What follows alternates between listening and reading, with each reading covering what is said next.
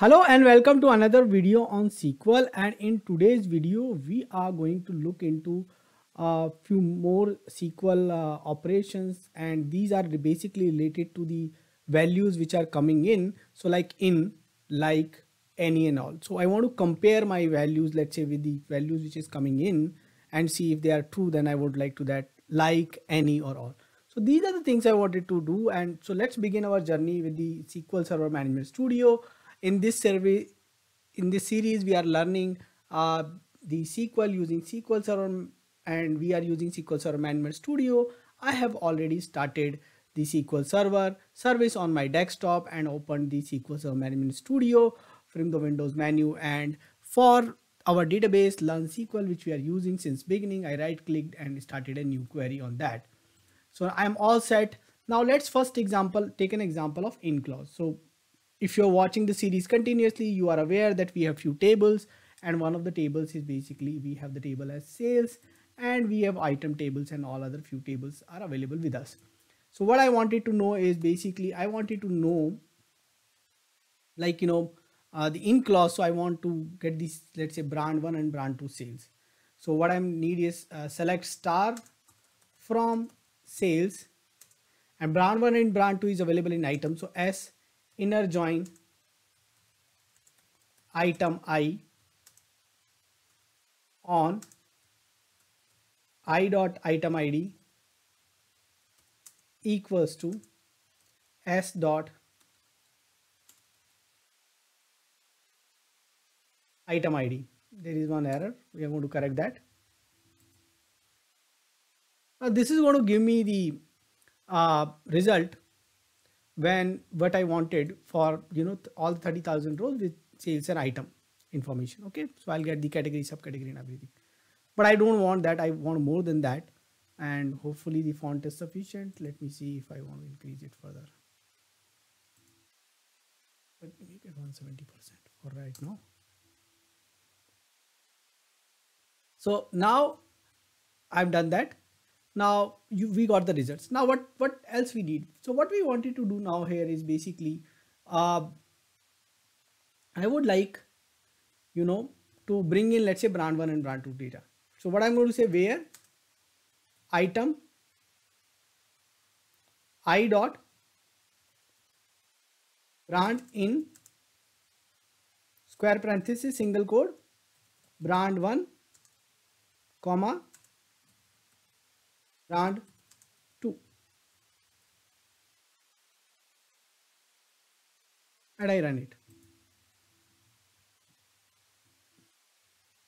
So I will get the results where I have brand 1 and brand 2 3000 such things are there and you will see everywhere wherever I see the brand the result is brand 1 and brand 2. Now not only like this I can use I can use in clause when I'm actually can bring in the data from some other query. Okay, so how can I do that? Let me paste this. So instead of this one, I can actually bring in a in clause. So let's say I want the a data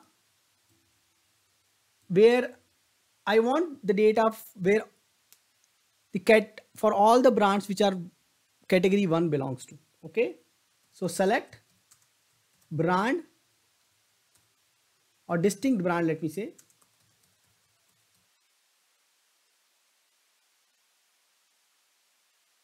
from item where category equals to category one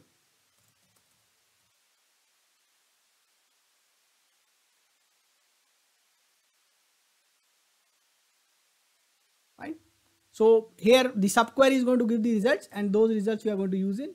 So now we are getting some 23,000 because uh, I there are quite a few brands which follows into the category one.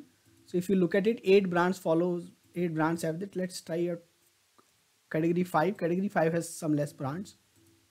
There are only five brands in category five. So if I run it, I'll get lesser number of rows. So what is happening in this case? It has those brands.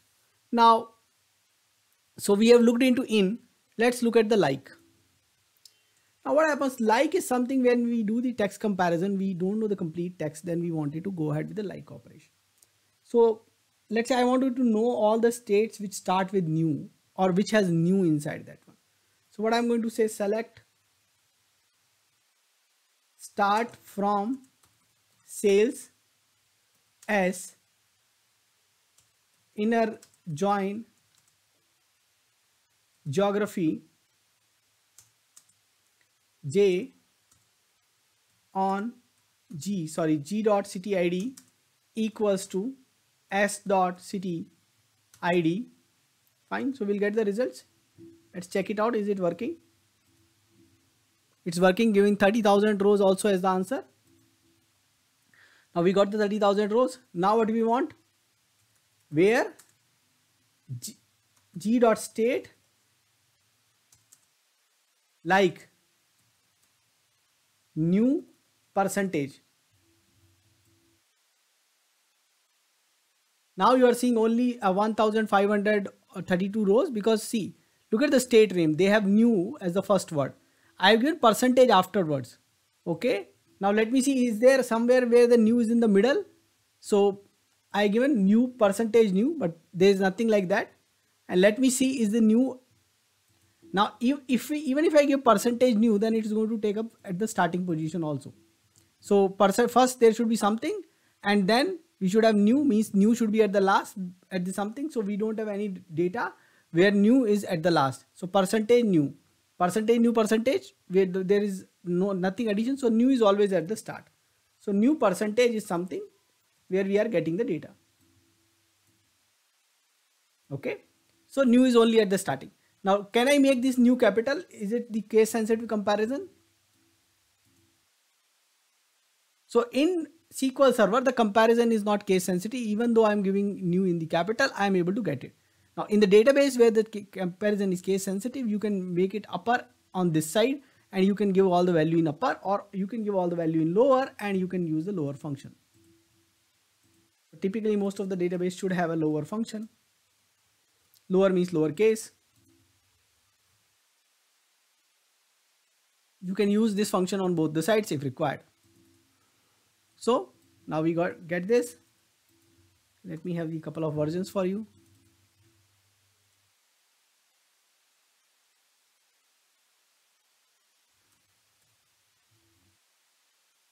So we know how to get like. Now, not like if you want, you can have, see, I don't want not, I want not like. Then I can simply go ahead and put here not like.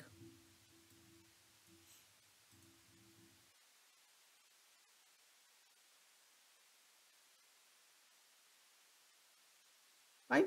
So we'll get not like. Now we learned how to use in we learned how to use like now in like we can also use certain uh, you know regular expression all those we can do there are different uh, ways we can do that so you can try those things also out now i want to try in or any for that let me do one more condition so let me bring in s dot sales so select star from s dot sales. Where? Now what I wanted to bring in, I wanted to bring in certain conditions. And I want to say where equals to any or equals to all. Okay. So let me bring something. I want to, you know, compare, bring in city IDs.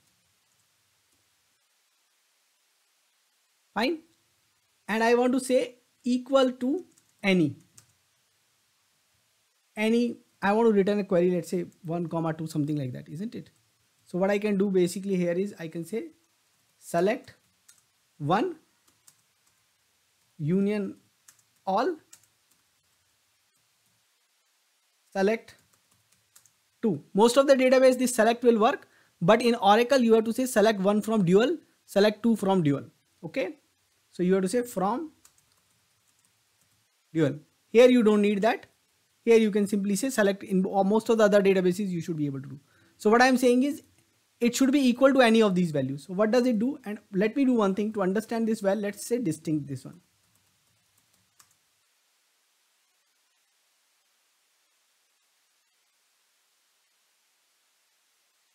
What is happening? It can be equal to any of the value, then you should give that value. Okay. Now let me change these values a little bit. Let me say 5 and 10. It works. Now let me say now something any greater than any. What would happen when I say greater than any of the values? And let me let me also do order by one now.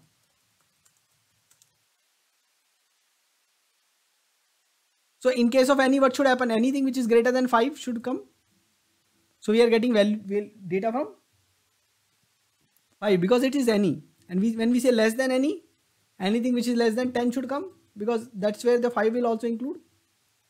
So let me do one thing now. Let me um, set uh, try the all function all function now. Before that, let me uh, you know put these things in less than and greater than so that you can try out and equal to also. Now let's, after doing this, let's, you know, start with all. Now first thing I will try with all is basically equal to. So we say all. Now what I want to say is basically select distinct city from sales where city ID equal to all select 5 and 10. So basically it's going to give me 5 and 10. So it's not returning result. Why it's not returning result? In the same row, you cannot have both the 5 and 10 value. So here it means the both the conditions should be true. Okay, all the conditions should be true what I'm doing. So let me try out when I do it with greater than what happens. Now previously you said when we say greater than everything above 5 we were getting. Now there are two conditions greater than 5 and greater than 10. Now what would happen in that case is greater than 10 is where both the conditions are getting satisfied. So we get now greater than 5 and greater than 10. So in that case we are only getting greater than 10 because both the conditions are only getting satisfied for that okay so now we are not getting uh, 5 uh, above 5 only. Now when I say less than let me try less than now. So when I'm going to say less than what would happen? Only the data which is below 5 is going to satisfy all that condition. So 1 2 3 4 are the only one which is getting satisfied to that particular condition. So we are only going to get the condition where this is basically going to satisfy the condition basically where both are below the one. So both the condition all the conditions. If i add one more let's say union all let's say if i add three here also. Union all let's say three. So now there are only two values which are below 3 below 5 and below 10 1 and 2 so based on those all three conditions all the conditions need to be true. And that is why it is really difficult for equal to to have that one value how can you have three equal to value? Okay? So this is something which uh, is a little bit tricky when you use. So go ahead and try these things out. Do let me know what else you want me to cover in this particular series. Thanks for watching this video. Thank you. Keep watching keep asking questions in comments subscribe to my channel and press the bell icon so that you can get notification for new videos. Thank you